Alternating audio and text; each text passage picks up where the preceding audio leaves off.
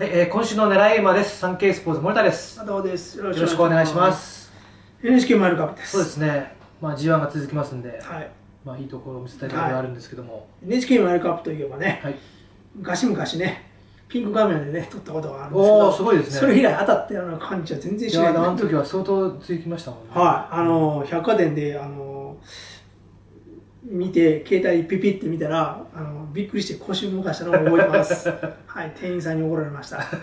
はい。いきます。はい。はい。えーね、えー、マイルカップは今今年も、ね、年ちょっとね、メンバー揃って、はい面白そうというか、どこからでもなれそうな感じで難しいんですけども、はい私はまず注目しているのがアルビアーノです。はいまあ、NHK マイルカップですと、東京コースなんで、うん。スピードだけでは押し切れず、うんやっぱりね、あの、スタミナも要求されるんですよ。うんそうなった時に、このアルビアーノはあの前走フラワーカップで中山の1008をクリアしてますんで、はいそこの 200m 我慢できる分っていうのが、うんまあ、ちょっとあのプラスに作用するんじゃないかなと私は思って、うんあとは柴山騎手にもちょっとね、ぜひ頑張ってほしいんで、まずは注目しております。あのね、はい鼻に行って競馬してるじゃん。はい。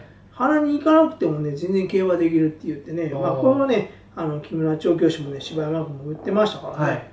で、まあ、この前のフラワーカップ1008で買ったけど、やっぱり1004とか1006ぐらいの方がいいような気もするうし、ん。これはね、奥が、奥がっていうか、そこが割れてない分ね、ちょっと楽しみですよ。私もこれ対抗にしたんですけど、あーなるほどはい。岡田さんは？本命はね、はい。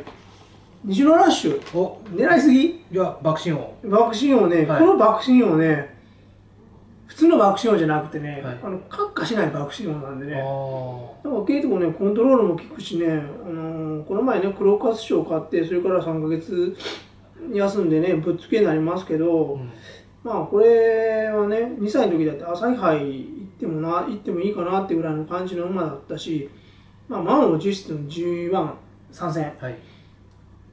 東京コースね、上手に走れるんでね、この馬。全然人気ないと思うんですけど、これちょっと面白いかなと思って、はい。これちょっとしっまあ、かり取材したあのんです実際グランプリボスが桜爆桜爆心王3区では勝ってますしね。あ、そうね。そうですね。だからそういう意味では、あのスピード生かせるのはいいですね。校長田村記者で。はい。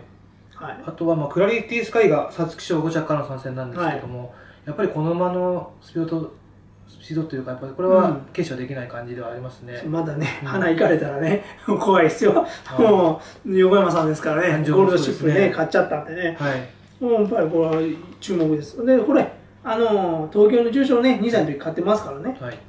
だからまあ、これはやっぱり注意しなきゃダメでしょう。ダービーの前にここ使ってきたんでね。はい。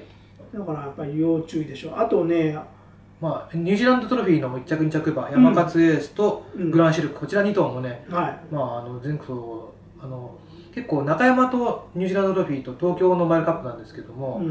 意外と関連性はあるレースあの意外と結果的に関連はあるんで、うん。この2頭も注意はしなければいけないですね、あとね、はいスプリングステークス使ってね、ただきにセミのミューゼスルタン。はいこれもね、新潟2歳ステークスの時の内容が強かったし、やっぱり骨折とかしたけどね、間に合ってきたんでね、これはやっぱり要注意ですよ。これは怖い馬ですよ。あとは、アブニール・マルシェあこれもねとかね、ありますし、アルマ・ワイオリとかね、はい。